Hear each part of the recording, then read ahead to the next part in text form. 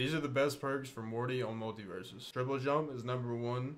I dodge, you dodge, we dodge on number two, and Coffeezilla for number three. Most of Morty's attacks use cooldowns, so getting rid of that cooldown as fast as possible is going to get you the most wins. Hope you guys enjoy.